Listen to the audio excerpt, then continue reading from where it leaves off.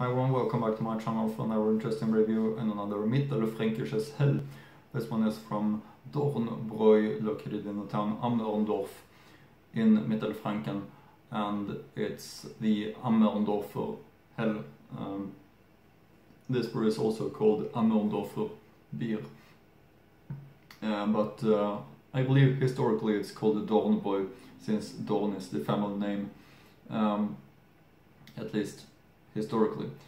I believe that there's another family owning this brewery at the moment while they are choosing the Ammerndorfer Bier name of the brewery. Anyway, it's a very old brewery, uh, which I'm gonna speak more about the history of it later on in the video, but it comes in this Euro bottle shape as you can see, uh, which is a very traditional bottle shape for uh, small brewers like this in the region.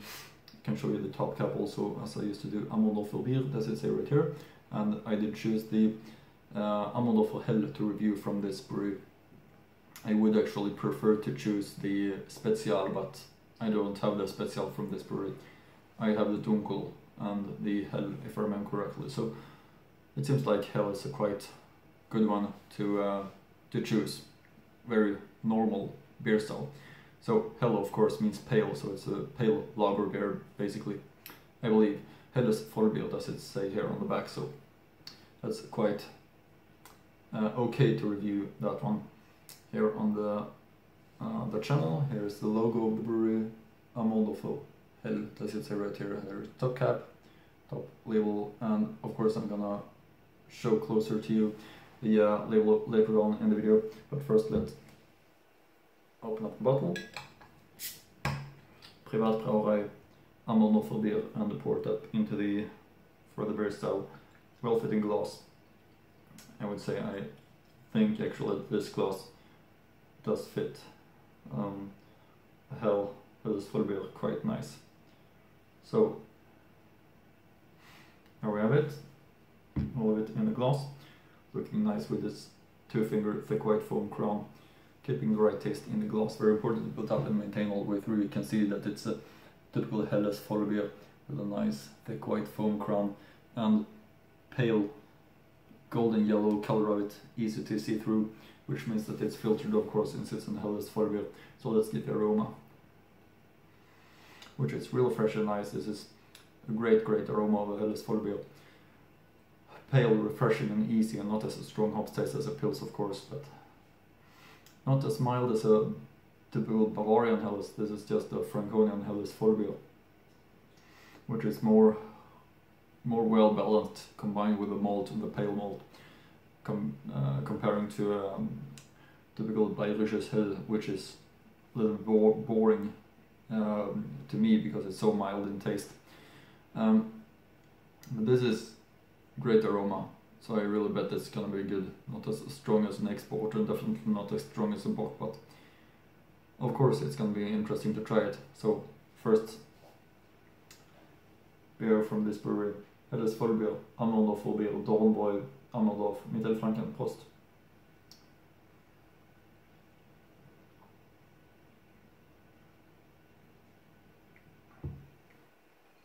Yeah, it um, it tastes of course really refreshing and nice. Actually, I would say that it's very mild in taste. Um, I didn't, didn't maybe expect that in the aftertaste, it's quite mild.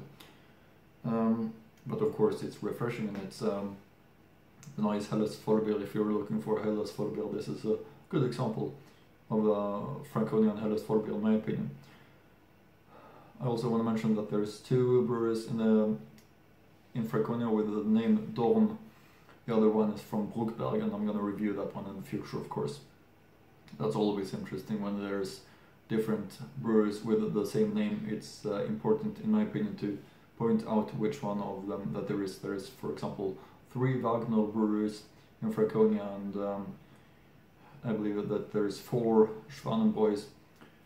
But anyway, this is all about um, and uh, I can show you closer the uh, label. Here's the logo, as you can see, and Ammerndorfer Hell. Uh, yeah, nice looking label. That's right there. Alcohol content 4.6 percent volume, so very, very low. Heimische Rohstoffe aus fränkisch regionalem Anbau Ammerner verhält ihre private Landbrauerei seit 1730. Aus tradition privat. So uh, 1730, which makes it quite old, or I would say very old. Um, I could be, we could be a little bit spoiled with how old this German brewery is. is 1730. While I'm reading about breweries, they all seem to be around that age, so it doesn't seem like 1730 is so very old, which it actually is, of course, when you think about it. 1730 is very, very old.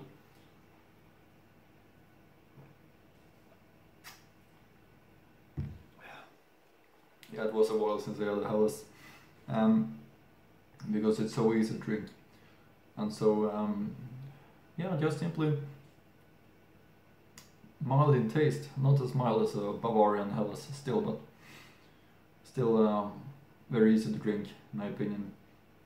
Uh, not my favorite beer style, to be honest. I like a little bit more taste, like a Keller beer or Pils or something like that. But still, it's uh, for the beer style a great one. Big recommendation, of course. Now, uh, I'm gonna read from the back label. Ammerndorfer Bier. Schmeckt nach Heimat, fränkisch gut. Helles Vollbier, Zutaten Wasser, Gerstenmalz, Hopfen, Ammerndorfer Bier, Marktplatz. Um, 90614 Ammerndorf. And the telephone number, Ammerndorfer Bier, DE is linked to the, to website, which I'll of course link to in the description box below as always, so feel free to check that out as well if you're interested.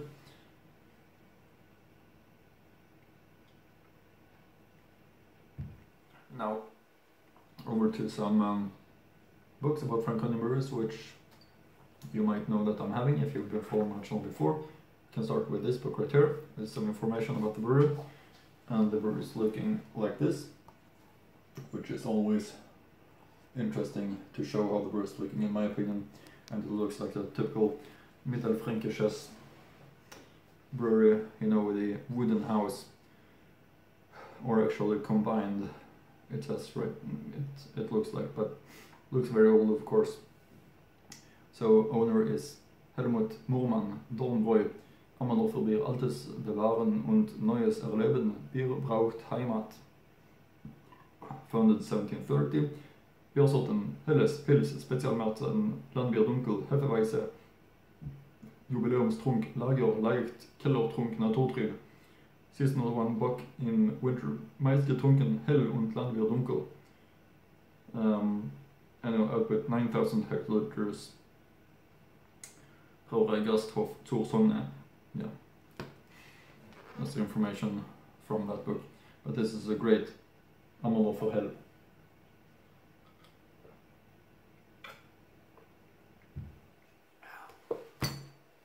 There is also um, this book right here a great book. Here you can see Ammerndorfer beer and all these beers that they're having. 1730 Claudia Benok Murmann, Christina und Helmut Murmann. Zwei Töchter in der Startlöchern, Christina Murmann und Claudia Benok Murmann, unterstützen ihren Vater Helmut schon einige Jahre bei der Arbeit in der Traditionsbrauerei. Sie verkörpern die zehnte Familiengeneration, die die Geschichte der schon über 500 Jahren alte Brauerei lenken wird. Das historische Gebäude stammt aus der Zeit nach 30-jährigen Krieg, der in der Nürnberger Gegend äh, bekanntmaßen heftig wirtete. Die, die Biere sind allesamt echte Originale. Man schmeckt einfach, dass hier noch keine große Industrie dahin streckt, sondern noch echte Handwerkstradition gelebt wird. Der Klassiker Ammerndorfer Hell. So, it's fair to choose the um, this one Hell for this review. Some information from this website also.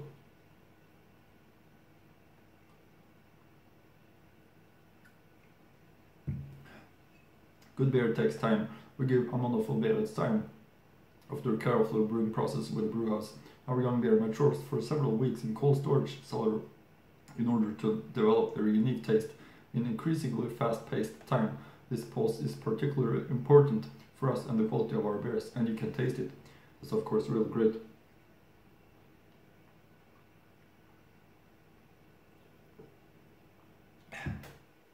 Yeah, that's it for now. That's the Dornbräu Ammerndorfer Hell from Ammerndorf, Middle Franken. Hope you like my reviews and see you again in next Franconia Beer review.